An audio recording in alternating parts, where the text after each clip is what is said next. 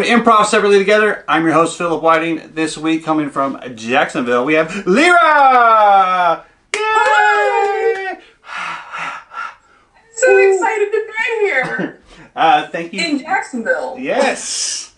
and in South Carolina at the same time. Ooh, it's magic. It's a really weird way to do it. Yeah. Uh, so, uh, thank you for coming on the show. No, thank you for having me. I'm actually very honored to be a guest this week. Awesome, I'm honored to have you. Um, Oh. Why don't you, let me, if I speak correctly, it would come out better for you guys. Uh, why don't you go ahead and tell the audience a little bit about yourself? Well, as Phillip said, my name is Lyra Hall. I actually originally am from St. Louis, Missouri, uh, the Show Me State. I've been in Jacksonville, Florida for about 15 years. Oh, wait. Yeah. 17 years. Oh, my goodness. Okay, sorry. You know, in this day and age, time is kind of going in a weird spectrum. So, now, Um, I've been in Jacksonville 17 years. Um, I've been with Mad Cowford Improv for 10 years. This summer was my 10 year anniversary. Um, I am also in a group called More Cowbell, which we do musical long form improv.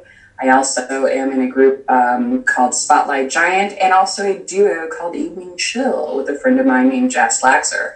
Um, so, yeah, so I've done a lot of improv. I love it. It's a good release, stress reliever from um, my day to day grind. Um, I'm in sales, which, you know, I don't have the personality for because I don't like people.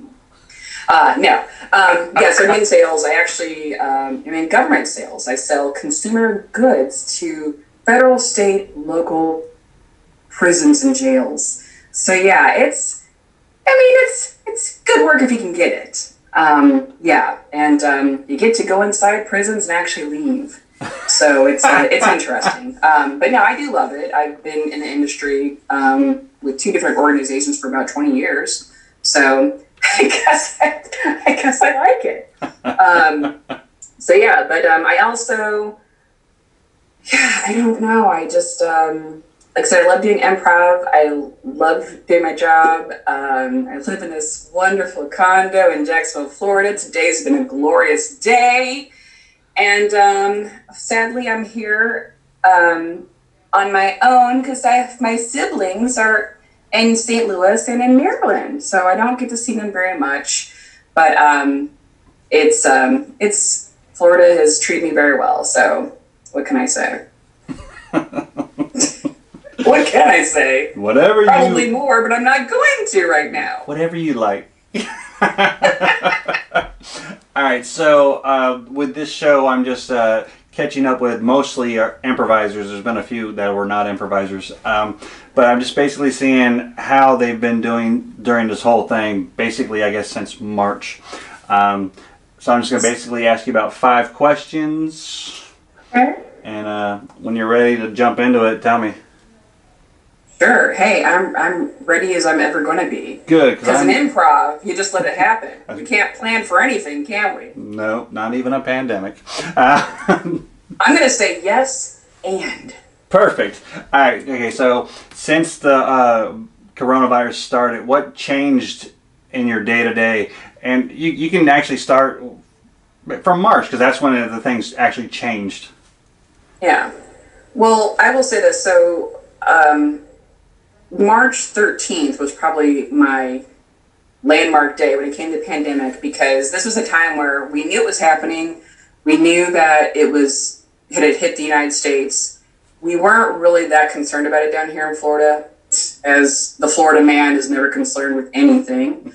Um, but I actually happened to be on a road trip. So I was uh, visiting a prison in Puerto Rico and um, it takes usually all day to get there. Um, getting up in the morning and flying from Jacksonville to Fort Lauderdale or Miami, and then going on to Puerto Rico. So I was going through that, and you know, you know, you're in the airport and you're seeing but people with masks on, which is not normal. Um, so that was kind of a new reality. Kind of thinking it really was hitting me. I packed my sanitizer. I'm wiping down the airplane seats. I'm in a rental car, which seemed like I was just in my own incubus of just bacteria. I wore disposable gloves in the rental car. I felt very awkward, um, to say the least, as if I was a, really a great germaphobe. But I knew this is a precaution I needed to take just because we really didn't know how bad this was going to get. So um, I remember I was coming back Friday. I was in the airport in Puerto Rico on the way back to Jacksonville, and they were having a sales meeting.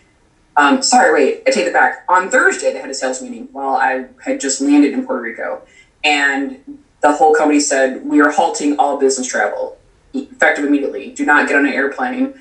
And my coworker's like, But Lyra is in Puerto Rico right now. And they're like, Oh. And for a second there, I thought, Are they gonna like somehow like, am I gonna get stuck down here?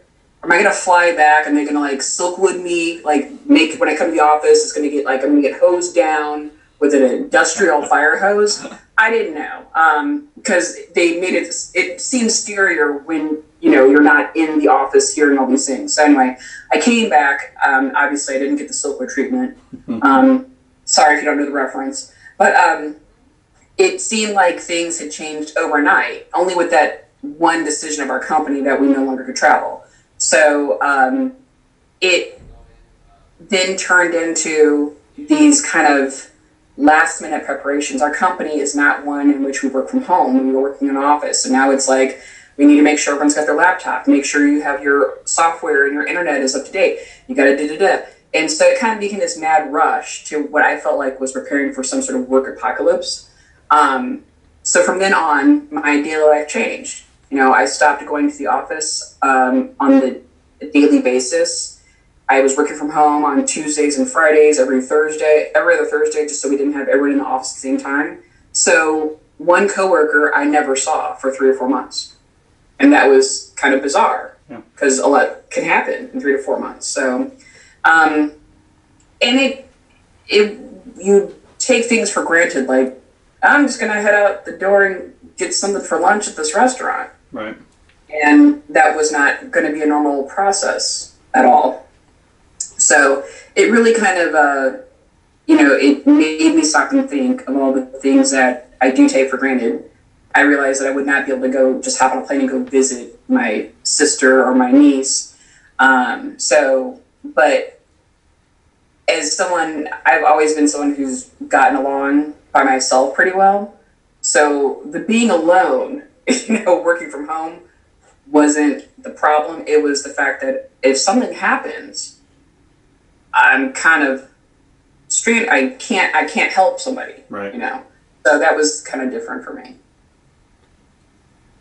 A little. a, lot of a lot of a lot of little. A lot of. Yeah. all right. So um, let's think about how we're all home. Even right now, we're all home more often than we used to be. Um, yes. What do you like about that? I don't have to make excuses as to why I don't want to be out. That's. That. I love the fact that I don't have to like you know. I'd love to come to your house for a party, but I was really gonna go through my drawer and get some donations together for Goodwill, or I don't have to go. Oh, yeah, that new band that is playing music that I would never listen to is playing. You want me to go see him? Yeah, you know what? I would love to go. But I got a doctor's appointment for my ears, and I don't want to, you know. So I didn't have to come up with excuses as right. to why I was not going to go somewhere. So that was, I felt like that's one thing that I benefited from. that's, I mean, even now you can be like, uh, pandemic. it's surprising how you have to remind people of that. Actually, no, um, no, it's so. not. it's like, like, did you? Yeah. Realize there's a pandemic. Hey, right. that's why. okay, so on the other side of that question is, what do you dislike about being home so much? Well, I will say this. Thankfully, I'm back to work full time. So at least I'm leaving to go to the office every day. Um, so what I dislike about this is I can no longer freely make doctor's appointments and use my lunch hour to go to the doctor. I can no longer freely like say, oh, you know, maybe I should fix, you know, X Y Z, you know, in the bathroom, right? Um, and tinker with that while I'm, you know, waiting for this return phone call. There's things around the house that I could be doing while I'm working that I can't do anymore. So now I'm spending them spending my weekend Right. doing these things that I don't want to do. Exactly. So um, yeah, the laundry's backing up. You know, I could throw a load in and get you know and then be okay, but now it's just Saturday and Sundays. I hid my laundry basket. I literally have a, a basket full of clothing that needs to be folded and put up, and it's not happening. So I literally, I literally will be wearing clothes from the basket this whole week. I don't care. No one's here. Who cares? But now you guys know. Uh, Yeah. all I am not as put together as I seem. Ah, this is all a charade. It's all a facade. Uh, all right. So uh, think about the one thing that you're missing more than anything. Um, I think the one thing I'm missing. I mean, honestly, this might seem cliche, especially for this for the show.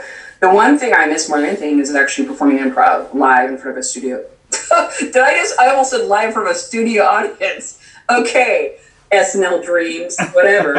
um, yeah, I do miss performing live in front of an audience, and I really miss performing with my my improv group. Right. Um, there are people like I haven't done musical improv in so long. I I feared that I may no longer know how to sing.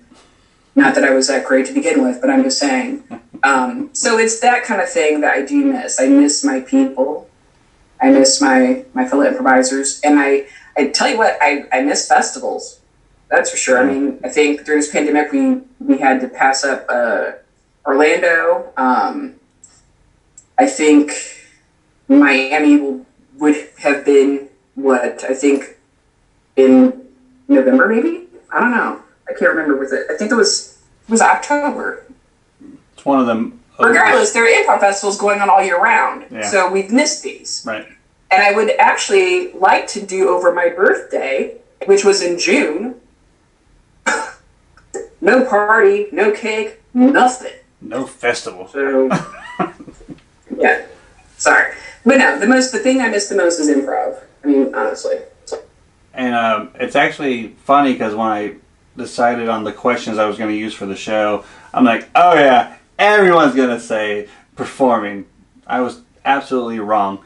Don't get me wrong, there's people that that is a thing, but I was getting things like a nice steak dinner.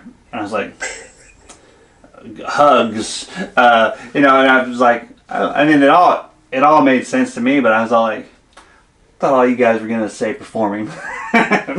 Well, because I guess for me, in a sense, there those are things I can compromise on. Like a steak, first of all, I can order a steak and have it delivered, or I can make my own steak.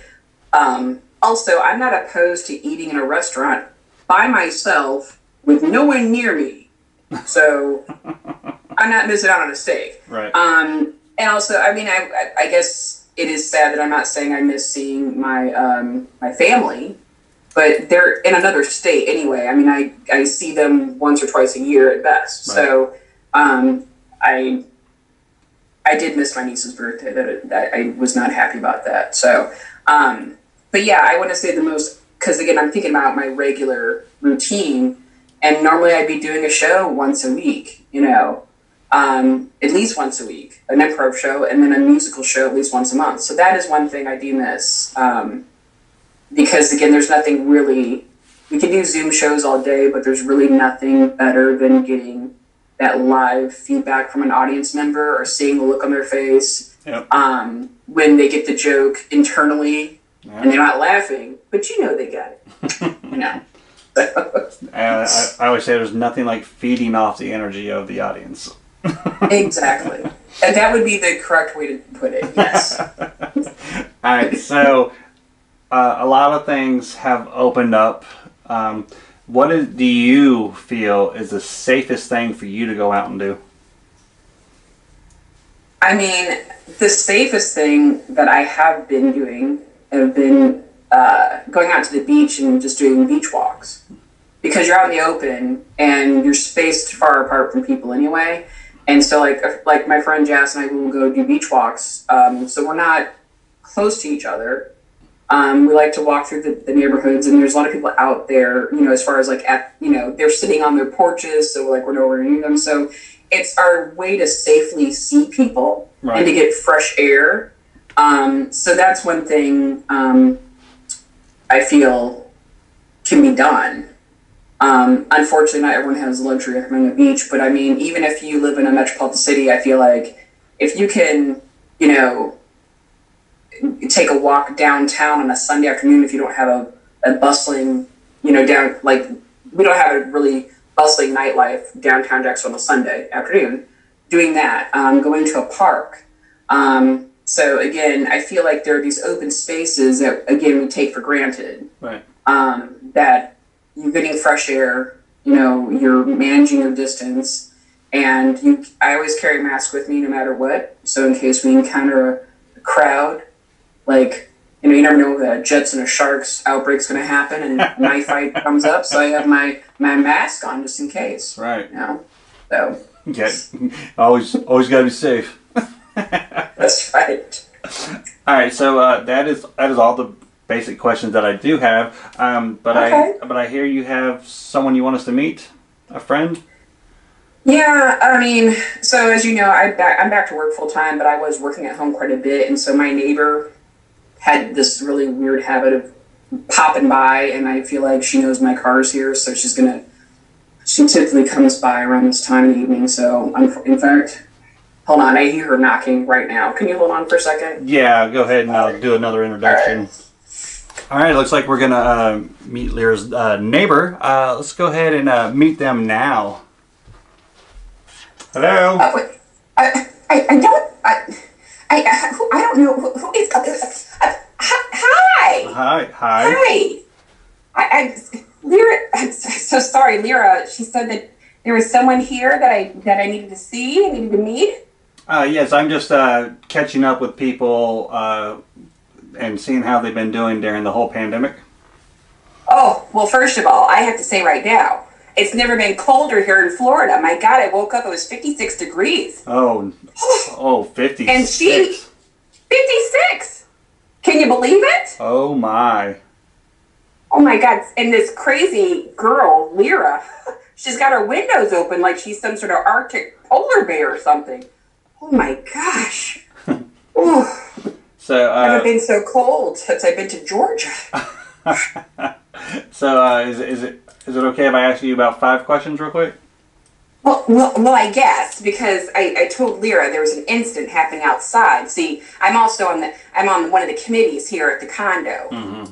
You know, we have this new HOA board. I'm on the committee, so I'm I'm watching for all kinds of infractions. I told her she needed to go outside and check around her car. I saw some litter around her car. Oh, okay. Yeah. Well, I mean, we can knock these out real quick, and uh, then you can get out there to handle it. Okay, real quick because these hooligans don't know anything but rule. They don't know rules. Okay. So, uh, since the whole coronavirus started, uh, what changed in your uh, day-to-day process? Oh, my my day to day process.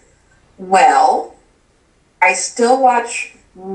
I still watch Kelly and Ryan. Um, I still eat my sandwiches. Well, you know what I do because I'm retired. But I'll tell you what, what what I what I do with the with the pandemic. Um, there are a lot of people here at the condo who are working from home and they're doing the Zoom calls and the kids are doing whatever. And I'm just I've got my eyes peeled. I've got my eyes peeled because, first of all, we all know that idle hands are the devil's playground, and these kids, they're on the Zoom calls doing the work. But as soon as their parents are turning their back, I've seen them run outside and they're meeting up and they're getting on their their scooters and skateboards and it's like it's like a Grand Prix rally out here. I can't take a walk without getting my without my dog almost getting run over by these crazy kids. It's it's not even safe. It's not safe. No, that's that's not fun at all. Before this virus, I could walk my dog, let him crap in a yard in peace. I don't pick up because the crap is nature's fertilizer, okay? But I'm saying to you, not safe with these kids at home all the time, okay? Mm-hmm. Gotcha, gotcha. Um, okay, so um, we're all home a lot more now. Uh, what do you like about being home so much? Oh, Well, what I like about it is, first of all, um, I like the fact that I can watch more people. You know, some people um, they live here and they try to get a little sneaky with some of the things they do. I get to watch them more like a hawk. I actually bought some binoculars on um, Amazon, so I'm getting really good look at these people. I'm going to be reporting them. I will say too, um, I've actually found out about this thing called um, Instacart. Uh huh. You can get groceries delivered. I don't even have to go to the store. Right. My groceries get delivered. I can actually pick up things from the Wally Mart, Mm-hmm. the Publix, um, uh, the Winn Dixie. It's crazy. I feel like I, I feel like I've won a lottery, but I mean not. I mean I'm on fixed income, but still, it's wonderful. Right. It's wonderful. I don't have to leave. It's great. Right. Right. Okay. So on the other side of that, is there anything that you dislike about being home so much? I don't like the fact that Lyra had to go back to work. Yes. You know why? She's the one neighbor that I can count on to have my back in case something happens. I'm afraid to actually do any sort of, uh, um, I don't know, like jerky movements or anything unsafe. If I were to fall down and Lyra's at work, who? What, what's going to happen? Oh. I don't know if I should call 911 because what if they don't have masks on when they come over? Uh, they they probably they probably do. It's probably definitely part of their protocol. You'd think, but I don't want to take chances. And that's what I'm saying is like that's one thing I I, I don't I don't like. Lyra's not home anymore, and um, my bridge game has been canceled. I don't know how to work the. There's a virtual. I sure people say you can do it virtually. I don't know. I don't get it the whole thing, so I don't do that. Right. Um, but yeah, yeah. Okay. I I like. I, I yeah yeah. okay. It's weird. Yes. Yeah. Yeah. We are we are in weird times. Yeah. so uh, think about uh, what are you missing more than anything right now? honestly. Live music. Hmm. I used to go to concerts. I used to, well, when I was younger, I used to go to Steely Dan concert. um, used to go see the Eagles. I used to see lots of great. I see you got a guitar Uh, yes. in your room. You look like some uh, musician type. No, I can play like a few chords. That's about it. Huh. Don't be modest. I bet you girls are throwing themselves at you on the stage, aren't they? no, just the one downstairs that I'm married You to. remind me of a young Don Henley. Oh, thank you. Yeah. Welcome to the Hotel California. oh, that's what I miss too. Travel. I miss concerts and travel. Oh, right. I do. Yeah. Yeah, that makes a, a whole lot of sense. Okay, I got one more question. Oh, shoot away. Go ahead. Okay, so lots of things have opened up since, since well, nowadays. Uh, what do you feel is the safest thing for you to go do? Look out the window. Oh, so just That's the safest thing for me to do right now. I would say look out the window. Um, check and make sure that you know everything's safe, and um, you know it. Actually, one other thing I think is probably safe to do: reading books. yeah, yes, Reading books is safe as long as you're reading your own books, because I don't want anyone's hands on my books. I would say reading books is probably safe, as well as a nice glass of Pinot Noir. oh, yeah. That's probably safe. So nice. As long as you stay in your house, you're not driving anywhere. I would say that's probably safe. So a nice book near a window with a glass of wine. Doesn't it sound like heaven? Oh, absolutely. With a nice little a labradoodle in your lap. Oh, absolutely. My dog's name is Shelly. Shelly the Labradoodle.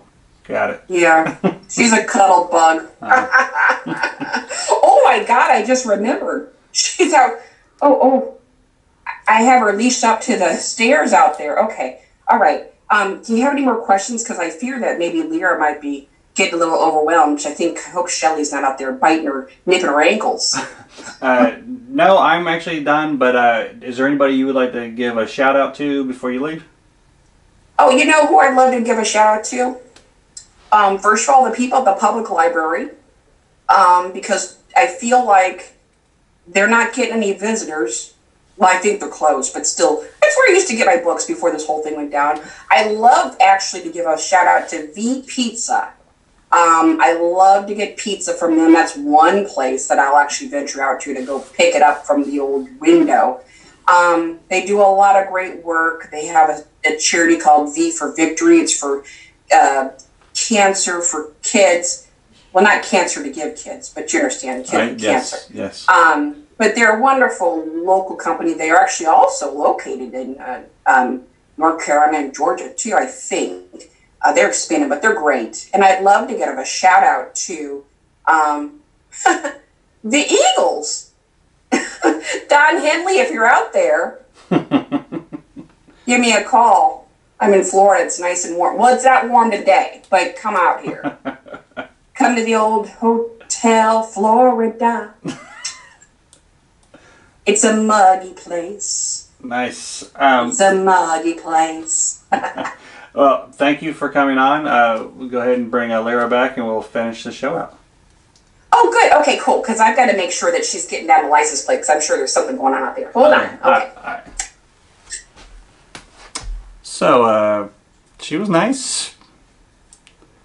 She wasn't too far out there, uh, but uh, let's go ahead and get uh, Lyra back, and then uh, we'll finish the show.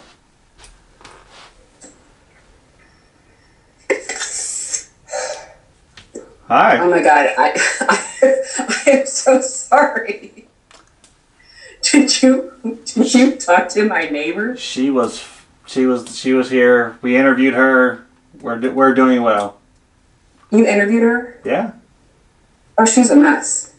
Oh, She's she's a hot mess. she she she was not too bad today, I guess. Okay, I think the night she must be taking her meds. Well, literally- I mean, I only had to deal with her for five minutes or so, so well, I, you can handle five. for some minutes. people, that's five minutes too long for some people. But she's got a cute dog. Shelly is a cute dog. So now's the point in the show where we have the lightning round. Oh, okay, okay. Gonna ask you five questions really fast.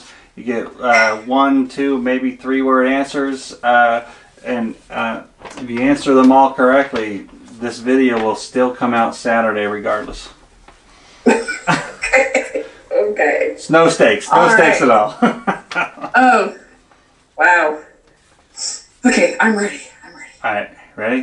All right, ready? What's your favorite food? Uh, pizza. What's your favorite drink? Uh, dirty vodka martini. What's your favorite place to visit? Uh, St. Louis, Missouri. Favorite movie? Amadeus. On a scale of one to ten, how fun is this interview?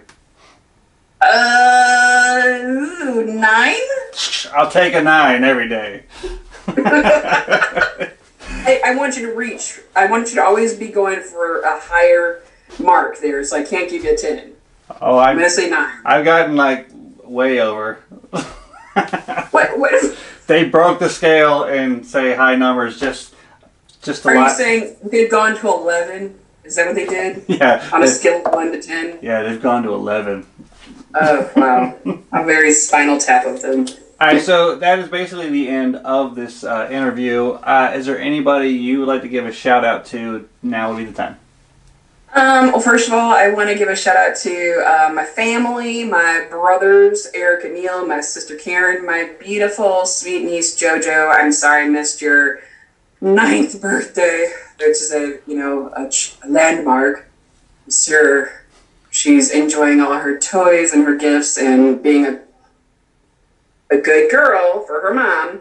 Um, also want to give a shout out to Mad Cowford Improv, Spotlight Giant, um, Evening Chill, and more cowbell. And um, really, I guess that's about. It. I want to. I want to give a shout out to Dr. Fauci. You know, no matter what happens, you're still the number one doctor in my book. I don't care if anyone fires you or not. I will always listen to your advice. I, I agree. Uh, all right, uh, so thanks again for coming on the show. Um, that's Thank it. you. Uh, I'm gonna do a little outro and then I'll be back with you. Okay. Hey guys, thank you for watching uh, today's episode. Uh, we will be back next week with another episode. Uh, while you're out there shopping and whatnot, uh, say thank you to all those people that have been working this whole time. Give a shout out to all the healthcare workers fighting this thing head on. And remember to drop the hate, spread some love. We're all one people. We'll see you next week, all right? Uh, peace.